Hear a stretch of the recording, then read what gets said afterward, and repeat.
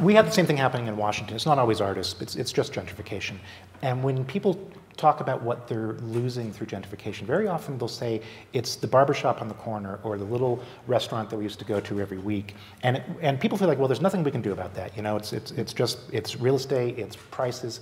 I've often wondered why couldn't you have a sort of business preservation policy where people in a community might say, you know, get together and say these are the three businesses that actually really were places of kind of communion for this neighborhood, and then use tax incentives, tax credits, the other things that we oftentimes use for big businesses to preserve those businesses in some way in the communities, mm-hmm. so that you don't just get you know Foot Locker and Starbucks and the rest of the thing. But anyway, I'm not supposed for, to. For what it's worth, Philip, that when when we did the rezoning of 125th Street in Harlem, in New York, one of the things we did was a, a series of zoning moves to try and incentivize. Mm-hmm cultural businesses and try and prevent ATMs from colonizing. So again, I think people are just trying to figure out this is something they want to do, they should do, and what are the tactics for doing it.